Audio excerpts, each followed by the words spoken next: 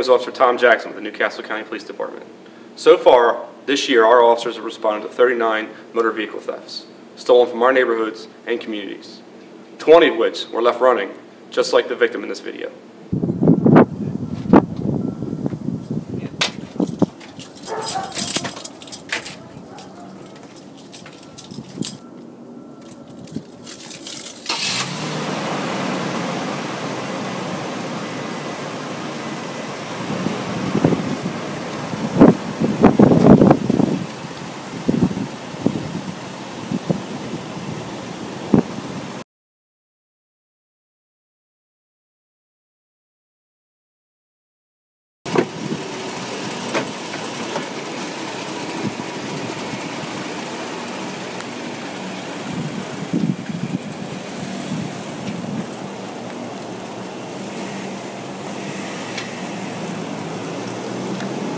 Don't make it easy for car thieves. The quicker a thief can steal your vehicle, the more likely it will be stolen.